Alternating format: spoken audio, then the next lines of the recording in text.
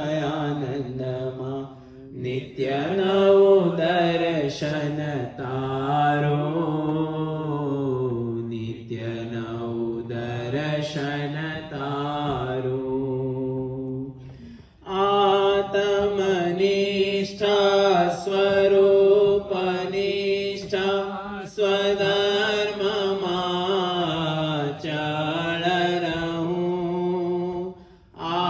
शिषये विपो स्वामी अकर्णमुरति मार आतमनिष्ठा स्वरोपनिष्ठा स्वधर्म